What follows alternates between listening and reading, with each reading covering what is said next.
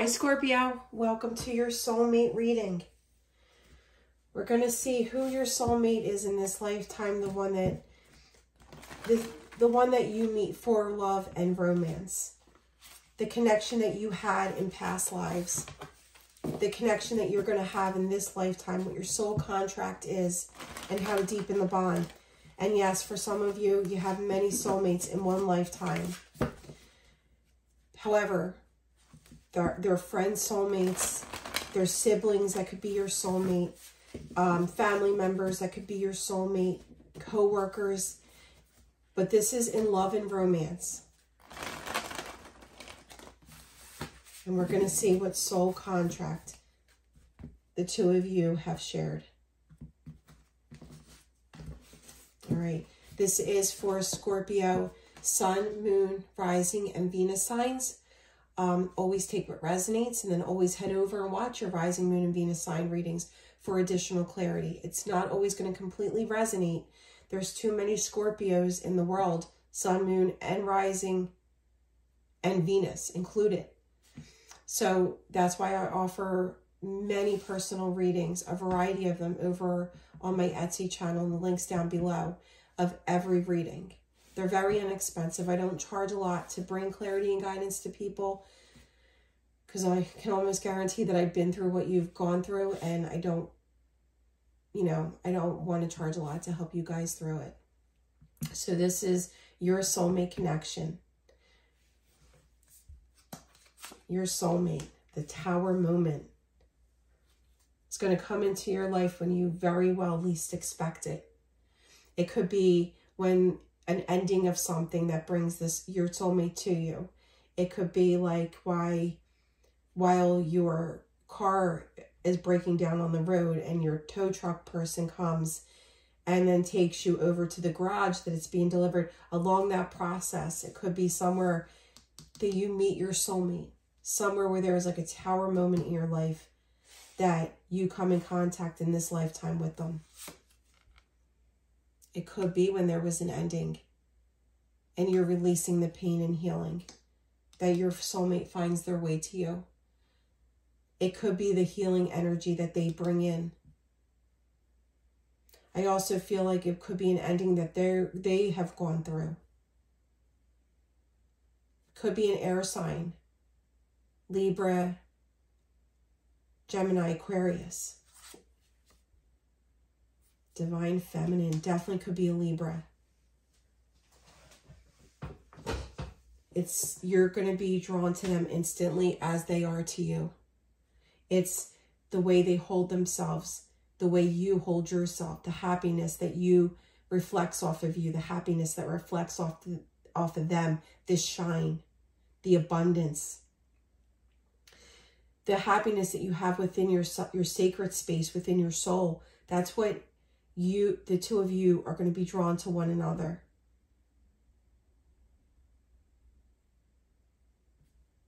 Abundant in their like career, in their finances, stability for themselves. Overcoming pain and any something drastic happening in their life.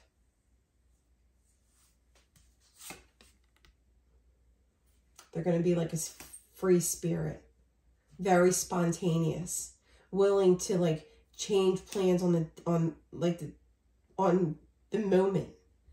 Um not being afraid to take that leap of faith towards something that they're either scared of or never have never done before. Very like free spirit. And they're going to take that leap of faith with you, towards you. Past life. Equal give and take. So it could have been, you could have been friends that had that equal give and take, that just got each other it could be that you had, you know, you could have been dating them. Because it looks like he's in a tuxedo, but she's in like just a dress, not a wedding dress.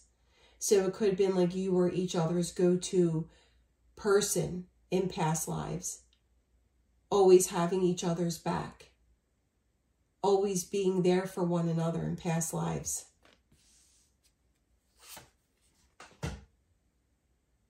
You might have had some passion between the two of you. You might have dated in past lives. I'm not getting really anything that says marriage just yet in past lives. But you had that equal give and take and you had that passion for one another. You were drawn to one another. It's like you both found each other sexy, both found each other, you know, you were drawn to each other's independence and your how you looked. Your appeal. And you weren't intrigued with anything else around you. No other offers. No, there was nothing around you in past lives that was was very stimulating. It's like you like i said you always went to each other for your go-to guy or girl. You go your go whatever you resonate with. This current lifetime you might come together both hurting from other situations. You might actually heal one another from other heartbreak. That might be around the time that you meet. Offering stability towards one another. It might feel like it took a lifetime for your soulmate to find you in this lifetime. But coming in very grounded, very stable.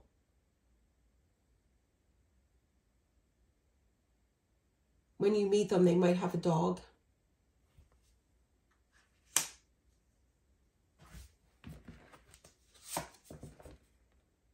See what I mean? I feel like the two of you might go through some pain independently, individually. And it's almost like you both have like hurt in this lifetime that is very similar, similar experiences. And it's like a healing energy that brings the two of you together to union in this lifetime to getting married to your soulmate the happiness, the 1111, and how to deepen that bond is to trust one another, to have that brand new beginning with one another, to always tell each other the truth and be like, a, you know, a clean slate with one another. Don't drag any emotional baggage from past experiences of this lifetime into that. Leave it at the door. You're also being protected by Archangel Michael with the Ace of Swords showing up, but allowing this brand new beginning to happen.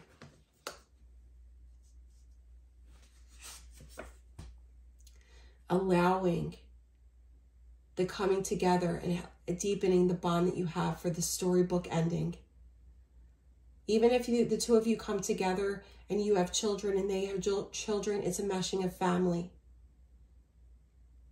You could be married multiple times in one lifetime and still find your soulmate and marry your soulmate.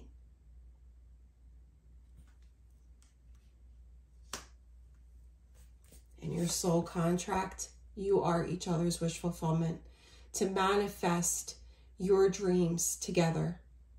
So in your soul contract, in each lifetime, in, in whatever form, it's to find each other in each lifetime, even if it's brief, because you are each other's dream. You may not even be with each other right now. You may not have met your soulmate in this lifetime, but you dream about them. You connect with them on the 5D. You may even feel their energy coming towards you.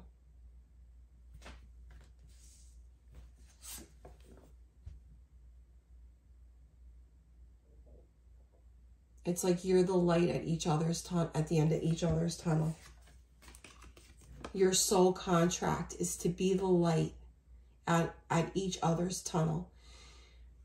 There's going to be times where there is a break, a pause, um, a reason to reflect, to gain a different perspective, to put yourself in each other's shoes. You're going to do that for one another, but you're going to be the light at the end of the tunnel. Spirit will always put you back on the right path. towards one another.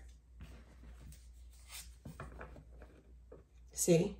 Even through times where you're like, you know, is she mad at me? Did she forget about me? Did did he block me? It doesn't matter. You're soulmates.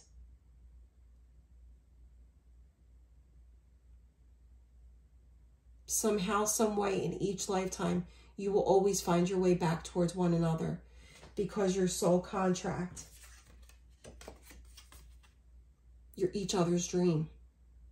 You will always manifest each other in each lifetime because that's what your soul knows. And it's like, like I said, the guy riding through the crowd, it's like you're going to have eyes for one another. You're going to be smitten by each other's um, looks, shine, abundance, the happiness that you both have within yourselves. You're going to notice this person in a crowd each and every time, in each and every form. And you're always going to want to want to rush in and romance each other. All right, let's see what else, guys. For my Scorpios.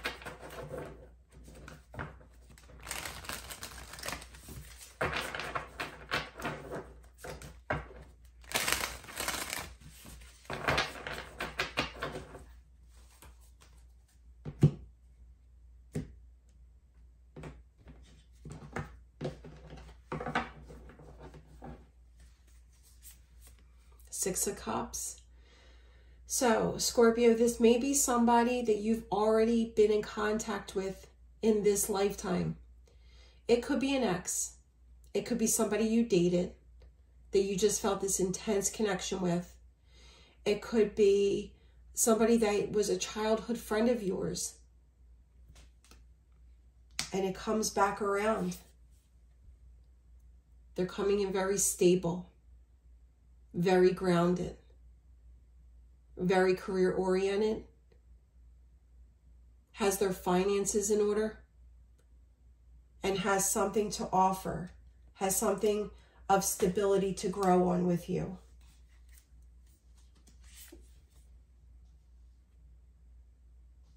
Learning through cycles. See the infinity sign? It's like you will always find your way towards one another both of you learning from cycles of this lifetime, definitely some pain in this lifetime. But closing out those cycles and still ready to move towards their soulmate, ready to find their soulmate.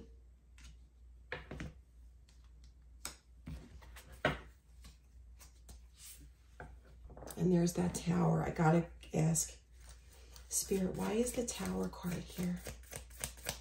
Twice in Scorpio soulmate reading.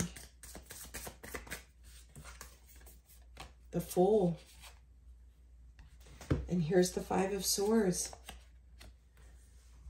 So there might be something that, you know, was in your both your energies at the time you meet that was very negative, very hurtful.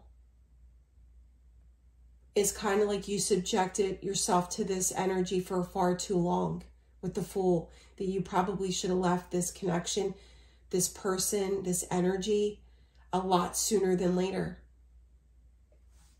And it's like through a tower moment, through an ending there,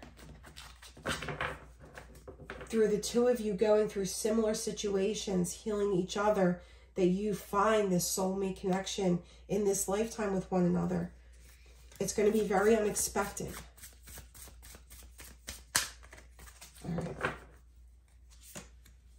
Queen of Coins, King of Coins, and Queen of Coins, Scorpio. So you might have strong earth in your chart, but the two of you are coming together in this lifetime for something solid, something long-term.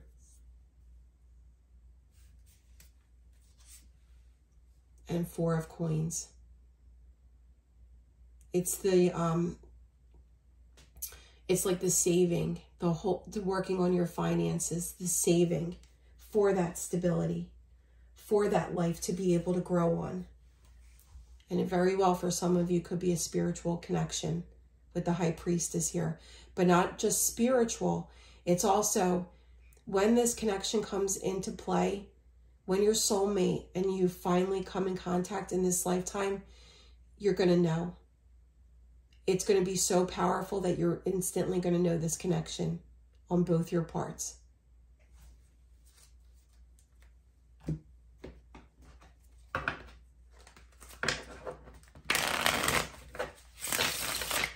I'm getting earth and fire. Could be an earth sign, could be a fire sign. What else can you do to clarify? Spirit, what else can you do to clarify? Scorpio soulmate connection in this lifetime. All right. See? Look at this. It's going to be a win-win. It could be at like an event, um, a football event, a, you know, sporting event. It could be somewhere where there's a trophy given. But it's going to be a victory when the two of you come together. Like I said, in a crowded space, in a crowded room, in a crowded environment, you're always going to find one another. Your, your eyes are always going to find each other. And Scorpio, here you are. So it could be within three to six months. It could be during the fall at some point. October 22nd to November 21st. If you haven't already come in contact with them. Oh, here's another one. I didn't even realize it's flipped over. But there's the fool energy. Your person's going to break free. They're very um, spontaneous. I feel like it's going to happen when you least expect it, Scorpio. There's going to be a lot of chemistry, sexual energy between the two of you.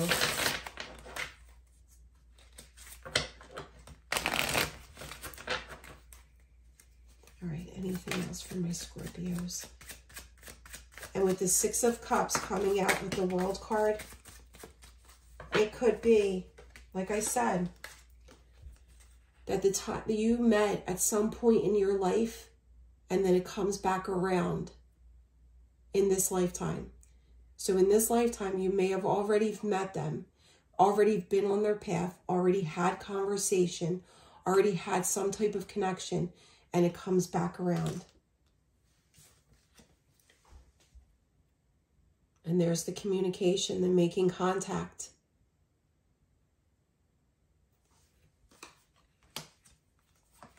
It's divinely guided. It's fated. You are each other's destiny in each and every lifetime. It's out of your hands. You are meant to meet this person in this lifetime, in every lifetime.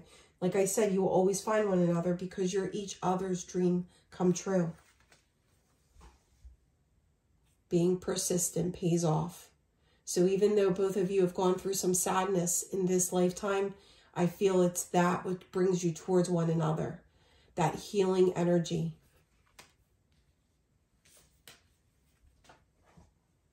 And remember with the coffin, it may be during a time of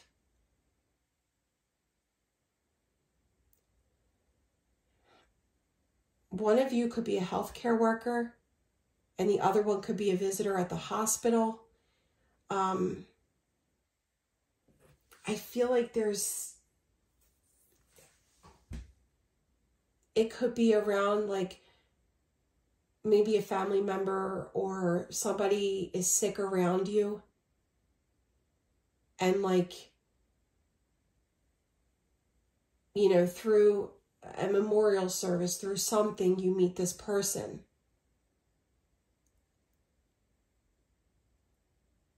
It's also a card of five. So if you're feeling restless, if you're feeling stress and anxiety over when you're going to meet your soulmate or when is it going to be your time, it's coming. There's so many things that have to transpire in a lifetime but with the three of wands coming out, you are each other's wish fulfillment, each other's dream come true.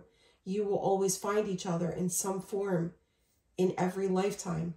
And this lifetime, you are getting that chance for that marriage, that union, that storybook ending, that brand new beginning that you're going to be able to trust on one each other and rely on one another. Conquer the world together. All right, Scorpio, let me know how it resonates. I will be back for many more readings. Stay safe.